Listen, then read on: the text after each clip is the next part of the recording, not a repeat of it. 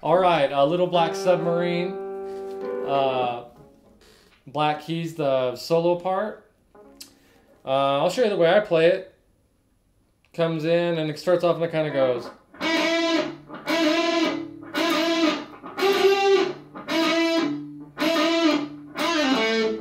Okay, so just imagine like A minor pentatonic, right?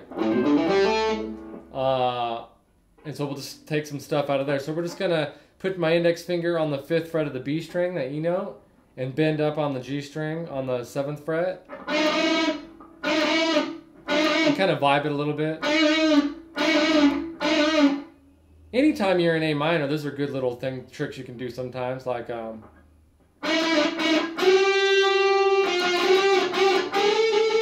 those are always some cool uh, sounds to get out of it. But for that, it's it's I think it's three times, and then the fourth time, come up and put your index finger on the uh, eighth fret of the B and the tenth fret of the G, and then back to the that again. Okay, and then I think he uh, just stops, and then you bend up to the A, A note, right? So bend on that B string up to the 10th fret of to that A note.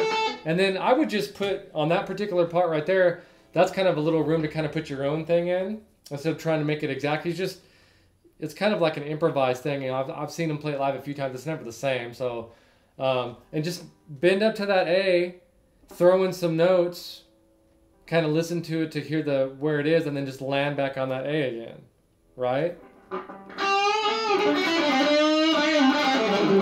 Something like that, and then you'll be to this the part that's kind of back to the melody, but he'll go. Okay, so you bent up, you did your little licks, and then you landed on your A note, right, which is there on the D string on the seventh fret. And then I kind of run up to A, five, six, seven on the D string to the A note.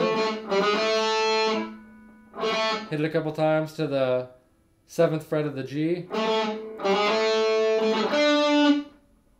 Hit that a couple times and then slide into the A on the G string, uh, B string.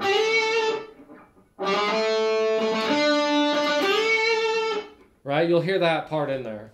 And then this is another improvised thing you can do. You can kind of just bend up. You can go that way or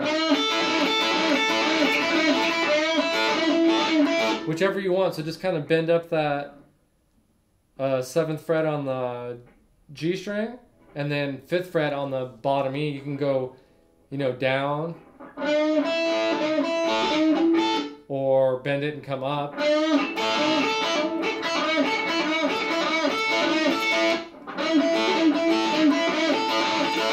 Whatever, and then just kind of spaz out on it. And you can throw that bend in there again, like with all of them. I like to do that too. Um, before it just kind of comes back and resolves to that A again, right?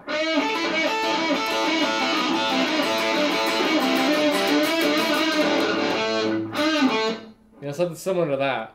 Um, you can kind of listen to it. I mean, it's just like a little freak out part right there to do something. And then it just goes back and does the.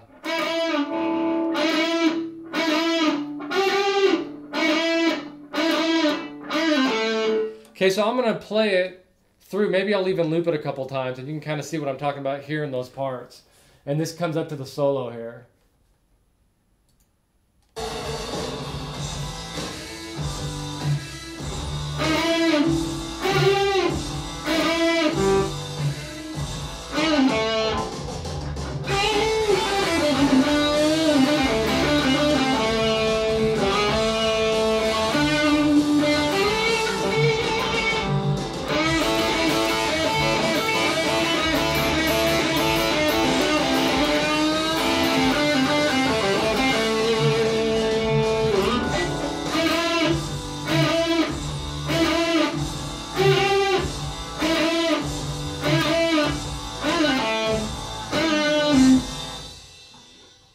We'll do it one more time.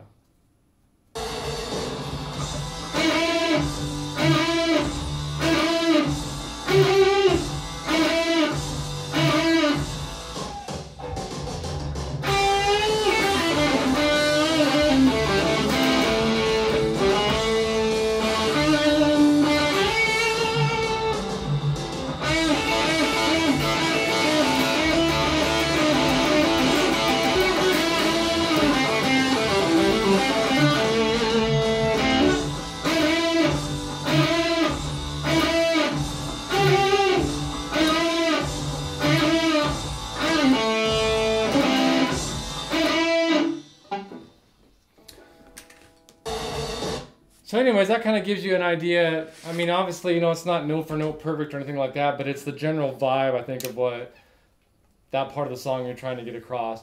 And you know, you can watch him live, and he varies it every time live too. It's kind of cool seeing um, the different things that are, you know, in his hands that night. Uh, but anyways, fun one to to learn from, and also a good one to use. Uh, you know, when you're doing stuff on your own or in other tunes, uh, some of those bends come in handy to give you some cool sound. So enjoy that one.